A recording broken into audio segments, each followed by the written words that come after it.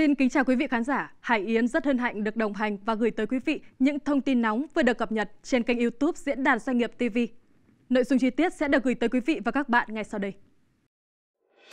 Người dân mua vàng xếp hàng dưới nắng để rồi tay trắng ra về.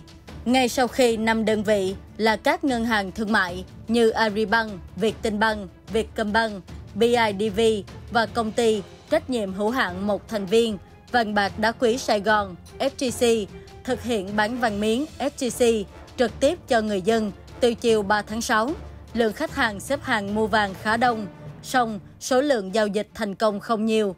Rất nhiều người dân xếp hàng dưới nắng để mua vàng, nhưng kết quả là ấm ức tay trắng quay về.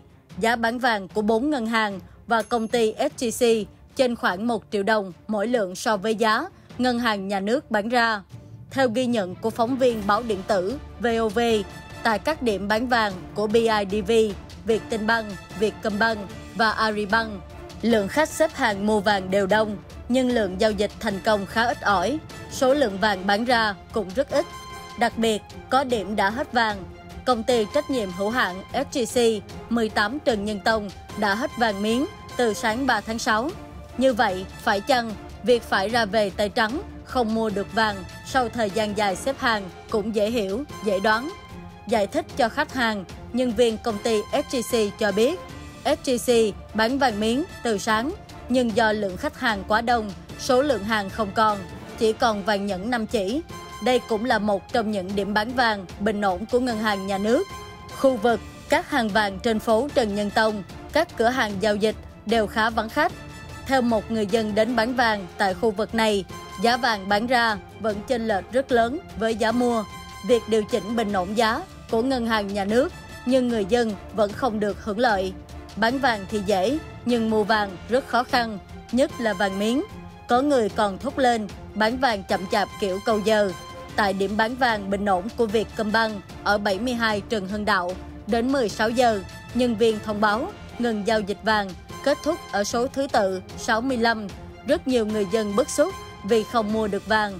Một người đã xếp hàng mua vàng từ 13 giờ 30 cho biết, chiều nay chị phải xin nghỉ làm để đi mua vàng.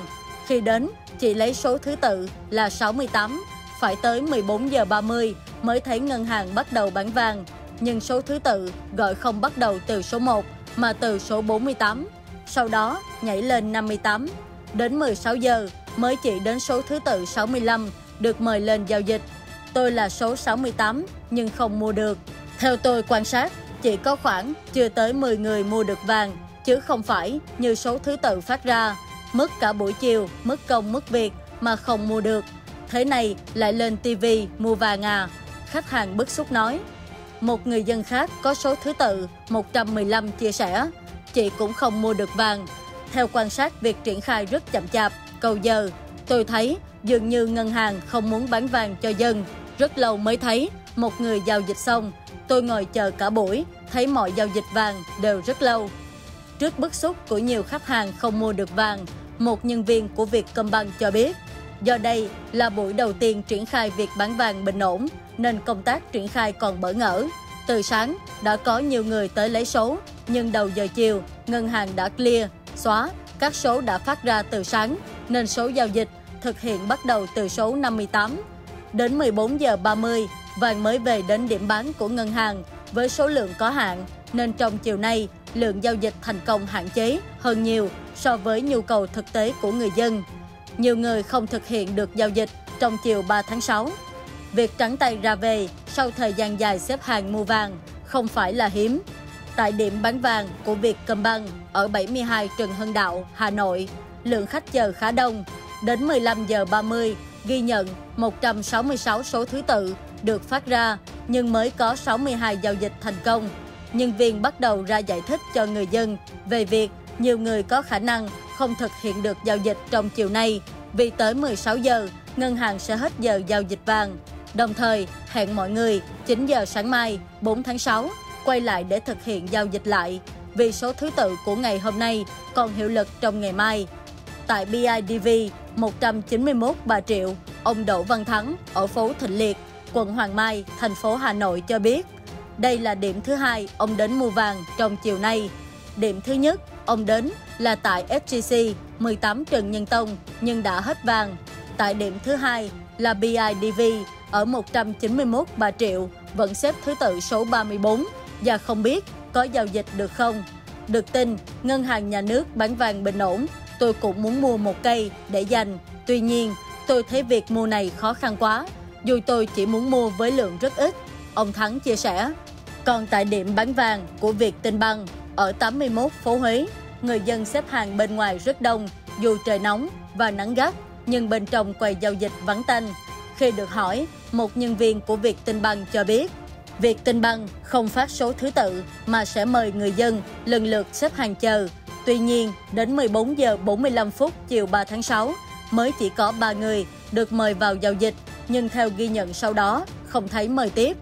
Khi được hỏi về lượng vàng dự kiến bán ra, nhân viên này cho biết không nắm được. Ghi nhận tại phố vàng Trần Nhân Tông, lượng khách giao dịch giảm hẳn. Theo nhân viên, tại Bảo Tính Minh Châu cho biết, ngày hôm nay lượng khách giao dịch giảm một nửa so với hôm qua. Thực tế, khách đã bắt đầu giảm kể từ khi nhà nước thông báo mở bán vàng miếng. Khách hàng giao dịch tại các cửa hàng vàng chủ yếu là vàng nhẫn do ngân hàng nhà nước không bán sản phẩm này. Một khách hàng tên Hoàng ở quận Hoàng Kiếm, Hà Nội đến một cửa hàng vàng tại phố Trần Nhân Tông để mua vàng nhẫn.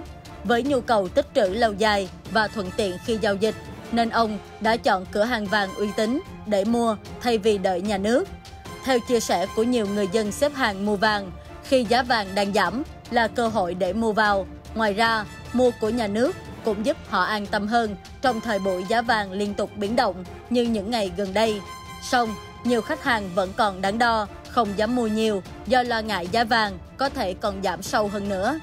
Theo phản ánh của phóng viên VOV tại thành phố Hồ Chí Minh, giá vàng tiếp tục giảm sâu gần 13 triệu đồng trên lượng so với lúc giá cao đỉnh điểm, nhưng hầu như rất hiếm giao dịch vàng miếng. Nhiều người cho biết ngóng chờ giá bình ổn buổi chiều 3 tháng 6. Đến hơn 10 giờ sáng nay, giá bán vàng miếng SJC chỉ còn hơn 80 triệu 080 ngàn đồng trên lượng, nhưng hầu như không có giao dịch vàng miếng. Trước đó, vào đầu giờ sáng, giá bán là 82 triệu đồng trên lượng. Các cửa hàng và trung tâm kinh doanh vàng bạc đá quý, nữ trang của P&G và SGC ở thành phố Hồ Chí Minh rất vắng khách, chỉ có vài trường hợp mua bán vàng nữ trang. Nhiều khách hàng cho biết, dù giá giảm sâu nhưng vẫn đang chênh lệch với giá thế giới từ 9 đến 10 triệu đồng trên lượng, nên họ chờ giá vàng bình ổn do ngân hàng nhà nước triển khai, hiện chưa dám mua. Trước thông tin về việc năm đơn vị là các ngân hàng thương mại như Agribank, Vietinbank, Vietcombank, BIDV và công ty trách nhiệm hữu hạn một thành viên vàng bạc đá quý Sài Gòn SGC sẽ bán vàng trực tiếp cho người dân từ chiều nay 3 tháng 6 nhằm bình ổn giá. Nhiều người dân hy vọng giải pháp này sẽ rút ngắn chênh lệch giữa giá vàng trong nước và thế giới. Ông Trần Duy Phương, chuyên gia vàng cho rằng giá vàng liên tục giảm mấy ngày nay nên khó có tình trạng đổ xô mua vàng trong chiều ngày 3 tháng 6. Người dân và nhà đầu tư đang nghe ngóng và tâm lý của họ đã bị tác động là lần này ngân hàng nhà nước quyết tâm bình ổn, giảm giá chênh lệch với giá thế giới, giá sẽ khó biến động lớn như lúc trước. Cho nên tôi nghĩ giá vàng miếng chiều nay nếu giá bán ở mức khoảng 78 đến 79 triệu đồng trên lượng thì cũng khó có tình trạng mua ồ ạt hay mua số lượng nhiều, ông Phương nói. Trước tình trạng trên, người dân nên thận trọng vì xu hướng giá vàng có thể tiếp tục giảm do biện pháp quyết liệt của ngân hàng nhà nước để giảm giá trên trong những ngày tới.